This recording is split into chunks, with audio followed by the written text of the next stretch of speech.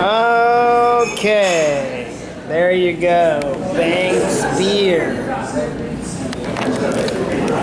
That is a beer from Guyana.